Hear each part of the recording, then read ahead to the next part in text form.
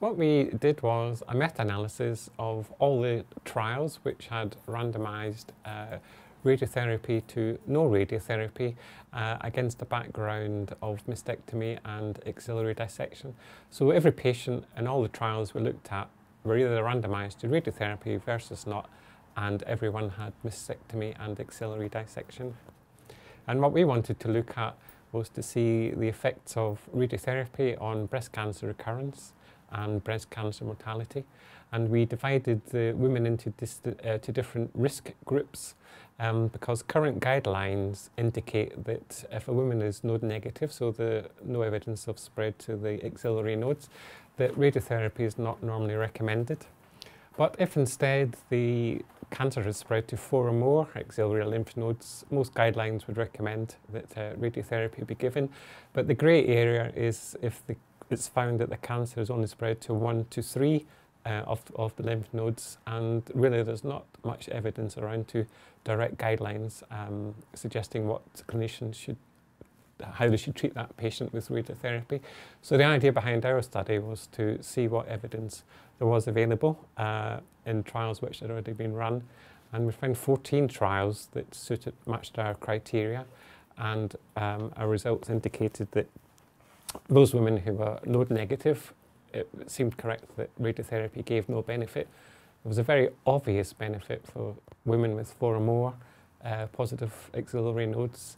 And what we found was that women with nodes 1, 2, 3 um, being positive, that there was also a very significant benefit on recurrence from breast cancer and also a very significant reduction in breast cancer mortality. It was a 32% reduction for recurrence and for uh, breast cancer mortality it was a 20% reduction in breast cancer mortality 20 years after randomization. As radiation oncologists, we already knew that the majority of women who were node negative after a mastectomy um, gains no additional benefit from radiotherapy. And we knew that for women who are heavily node positive after mastectomy, um, that they gain substantial benefit from radiotherapy. But what we were unsure about was whether women with between one and three positive nodes after mastectomy benefited from radiotherapy. And the study really um, helps us to know what are the benefits in those women. In terms of what the study showed, um, it showed a substantial reduction in recurrence, overall recurrences and in breast cancer mortality for women with between one and three positive nodes.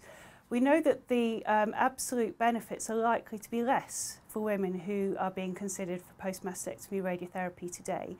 And that's because screen, there's breast cancer screening, we're better at systemic therapy, we're better at local therapies. Um, but we can still apply, we're likely to be able to apply the proportional benefits in the study because the proportional benefits didn't vary according to various factors, for example, whether or not the woman has systemic therapy. So the study really helps us radiation oncologists um, to estimate the benefits from radiotherapy for our women in the clinic today. Clinicians can use our results to estimate what are the benefits for their women today. Um, and I think we need to use those proportional risk reductions to work out the absolute benefits.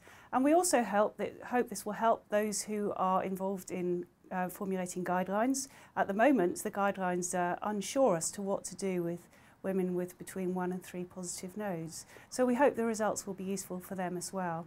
The importance of the study is that it really represents um, really the world uh, uh, evidence of the effect of uh, local regional radiation after mastectomy. And follow-up has now gone on up to 20 years and uh, still shows a fairly uh, important effect on breast cancer mortality and overall survival.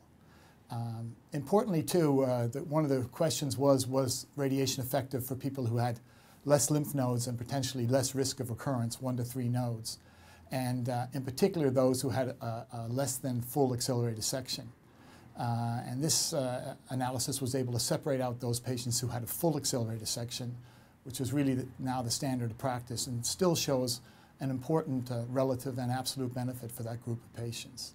So I think the results will have a big impact actually on clinical practice, not only um, uh, in the UK and Europe, but uh, throughout North America.